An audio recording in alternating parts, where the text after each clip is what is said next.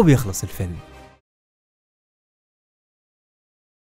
بيبدأ الفيلم بسلاحف النينجا وهم رايحين يتفرجوا على ماتش كرة سلة. وفجأة بيشوفوا الأخبار على شاشة العرض وهما بيتكلموا عن واحد اسمه فيرن. وعمالين يوصفوه بالبطل لأنه اتخلص من عصابة شريدر لوحده. وبيكون فيرن موجود وبيتفرج على ماتش السلة. وأول ما بتشوف المذيعة بتعمل معاه لقاء صحفي. وبتبدأ تسأله إزاي قدر يتغلب على شريدر لوحده. بس قبل ما يرد عليها بيضربوا السلاحف بالورق من فوق الملعب وبيفضلوا يرخموا عليه شوية. وده لأن هما اللي قضوا على عصابة شريدر. بس طبعا مش هيقدروا يعترفوا بده لأنهم مش عاوزين حد من البشر يعرف حقيقتهم. في اللحظة دي بتتصل بيهم صديقتهم إبريل وبتقول لهم إن في دكتور اسمه باكستر بيشتغل مع شريدر. وعلى الأغلب كده بيخطط يخرج شريدر من السجن وبتطلب من دوناتيلو يعلمها إزاي تخترق موبايل باكستر. وده عشان تتأكد إذا كان كلامها صح ولا لأ.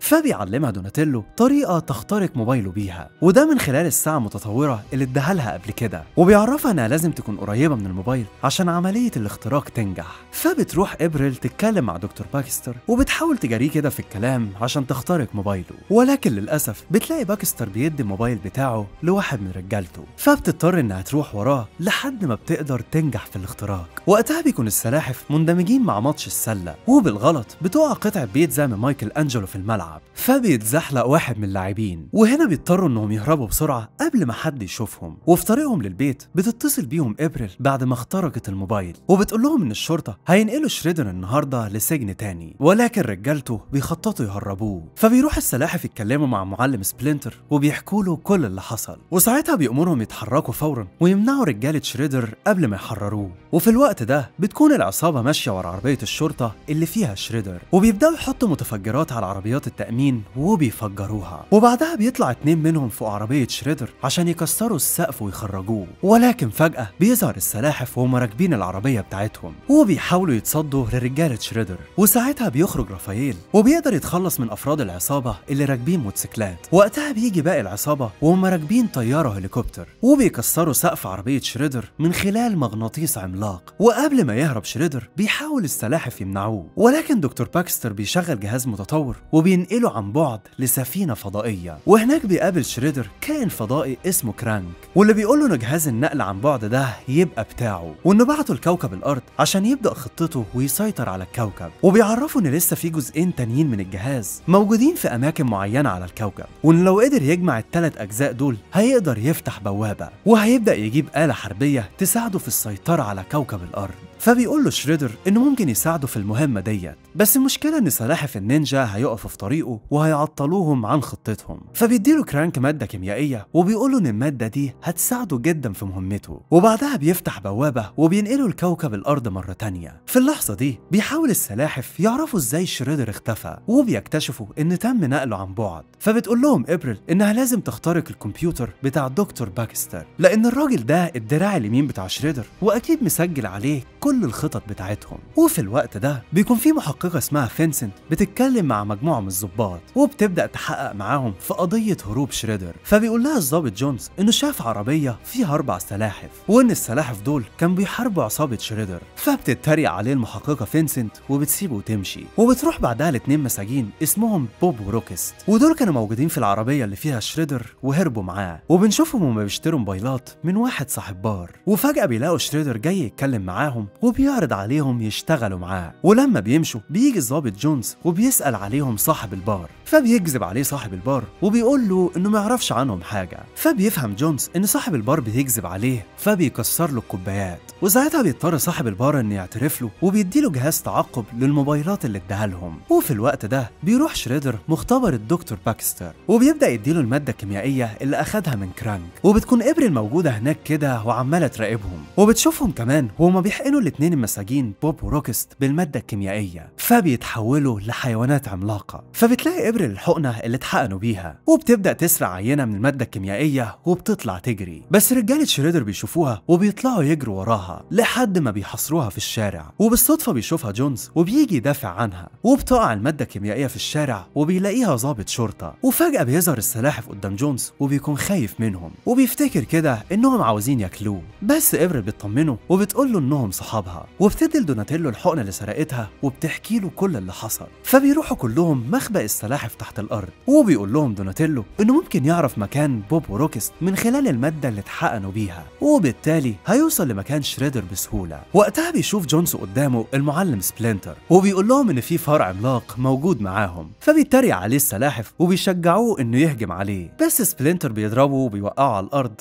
وبيرحب بيه في بيته. وفي نفس الوقت بيتكلم شريدر مع بالمر المساعدة بتاعته. وبيأمرها تروح تجيب المادة الكيميائية من مركز الشرطة. بنرجع بقى تاني للسلاحف وبنشوف دوناتيلو وهو بيتكلم مع ليوناردو. فبيبدأ يوري له حاجة اكتشفها وهي إنه المادة الكيميائية دي ممكن تحولهم لبشر. وده لو عملوا تعديل على التركيبة بتاعتها. فبيتصدم ليوناردو وبيقول له إن التجربة دي خطيرة عليهم وإنهم ما يعرفوش إيه عواقبها. وبيطلب منه ما يعرفش إخواته عشان ما يفكروش في الموضوع دوت. بس بيكون مايكل أنجلو سامعهم وبيروح يبلغ رافائيل. وساعتها بيتضايق رافائيل وبيروح يتخانق معاه عشان خبى عليه وده لأن نفسه يتحول لبشر. فبيتضايق ليوناردو وبيشد معاه بالكلام لحد ما بيقاطعه دوناتيلو وبيقول له إن شريدر سرق حاجة من المتحف ولازم يعرفوا هو سرق إيه. فبياخدوا ليوناردو وبيروحوا المتحف لوحدهم وساعتها بيقرر رافائيل يسرق المادة الكيميائية من مركز الشرطة عشان يتحول لبشر. ولما بيوصل السلاحف للمتحف بيكتشفوا إن شريدر سرق قطعة من جهاز النقل عن بعد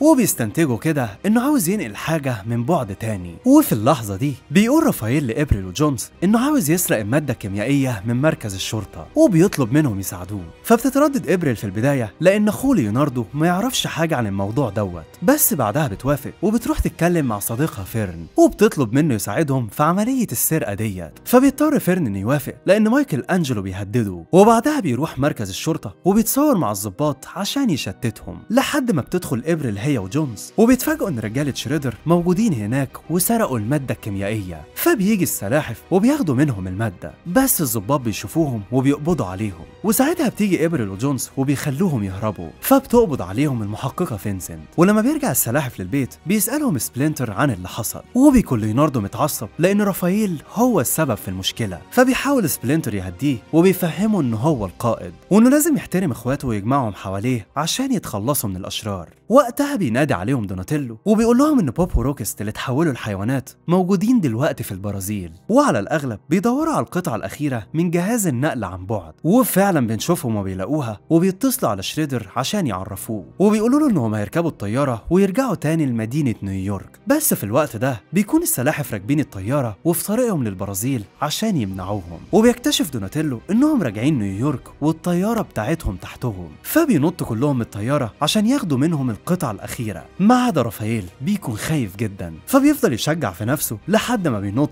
وبينحرف عن مسار الطيارة بس ليوناردو بيمسكه وبينقذه في آخر لحظة وبيبدأوا كلهم يدخلوا طيارة المتحولين فبيبدأوا يتخانقوا معاهم وبتدور منهم معركة شرسة وبدون وعي بيضرب عليهم روكست نار من الدبابة وبيدمر الطيارة تماما لحد ما بتقع بيهم في البحر وبيحاولوا ياخدوا منهم القطعة بس المتحولين بيمنعوهم وبيكون معاهم القطعة وبيقع السلاحف من فوق الشلال. بنروح بعدها لإبريل وجونز وهم موجودين في مركز الشرطة وبيتم التحقيق معاهم بخصوص سلاحف النينجا. وأول ما بتخرج المحققة بيسرقوا منها الموبايل وبتتصل إبريل على فيرن وبتطلب منه يروح مختبر الدكتور باكستر وإنه لازم يجيب دليل على إنه متعاون مع شريدر وبيخططوا لحاجة شريرة جدا. فبيوافق فيرن وبيروح المختبر وبيسرق كاميرا من هناك. ومن سوء الحظ بيقدر باكستر يجمع الثلاث قطع بتوع الجهاز وبيبدأوا يشغلوه عشان يفتحوا بوابة عن بعد. وقتها بيروح فيرن المحققة وبيديها تسجيل الكاميرات. وأول ما بتشوفه بتخرج إبريل وجونس من السجن وفجأة بيلاقوا سحابة كبيرة غطت المدينة بالكامل وبيفهموا من كده إن البوابة اتفتحت. وأول ما بيعرف السلاحف الموضوع بيكونوا مش عارفين هيخرجوا للمدينة إزاي خصوصا بقى بعد ما الشرطة شافتهم وعرفوا كل حاجة عنهم. فبيقترح عليهم دوناتيلو إنهم ياخدوا جزء من المادة الكيميائية عشان يتحولوا لبشر وساعتها طبعا هيقدروا يخرجوا وينقذوا المدينة. بس رافائيل بيرفض وبيكسر الإزازة اللي فيها المادة. وبيقول لهم أنا كنت غلطان لما كنت عاوز أتحول لبشر. وبعدها بيخرجوا من المخبأ بتاعهم وبيلاقوا إبريل والشرطة مستنيينهم. وعلى عكس ما توقعوا بيتفاجئوا إن الشرطة قرروا يساعدوهم. وده عشان يقفلوا البوابة قبل ما يحصل كارثة. وفي نفس الوقت بيتكلم الدكتور باكستر مع شريدر وبيقول له إن البوابة اتفتحت بالكامل. ودلوقتي فرصتهم عشان يحكموا العالم كله. فبيقطعوا شريدر وبيقول له إنه كان بيخدعه طول الوقت ده عشان يخرجوا من السجن. وبعدها بيخلي رجالته يحبسوه وبيروح يقابل كرانك الكائن الفضائي وبيقول له إنه نفذ كل أوامره. ودي بقى فرصتهم دلوقتي عشان يحكموا كوكب الأرض. فبيسخر كرانك من كلامه وبيقول له إن محدش هيحكم كوكب الأرض ده غيره. وبيجمده وبيحبسه في السجن جوه السفينة الفضائية بتاعته. وقتها بيحاول جونز يشتت المتحولين وده عشان إبريل وفيرن يقفلوا البوابة. وأخيرا بيقدر السلاحف يوصلوا لكرانك وبيبدأوا يحاربوه لكنه بيكون أقوى منهم وبيهزمهم بكل سهولة. وساعتها بيطلب دوناتيلو من مايكل أنجلو يسرق قطعة معينة من الآلة الحربية بتاع كرانك عشان يوقفها. وفعلا بيقدر مايكل أنجلو يسرقها ولكن كرانك بيسحبه ناحيته وبيحاول يمنعه لحد ما بيتعاون السلاحف مع بعض وبيقدروا يهزموه. وكمان بيكسر جونز الجهاز وبيقدر يوقف البوابة. وأخيرا بتنجح خطتهم وبيرجع كرانك للسفينة الفضائية وبيخرج بره الكوكب خالص. وبعد فترة بيتم تكريم سلاحف النينجا وبتديهم المحققة فينسنت مفتاح المدينة. وبتشكرهم جدا إنهم أنقذوا كوكب الأرض. وبيخلص الفيلم. أنا عارف إن أكيد الفيديو عجبك. فيا ريت بقى ما تنساناش بال like وال subscribe. والأهم كمان إنك تفعل الجرس عشان يوصلك ملخصاتنا أول ما تنزل. ونلقاكم على خير في ملخص قادم إن شاء الله. مع السلامة.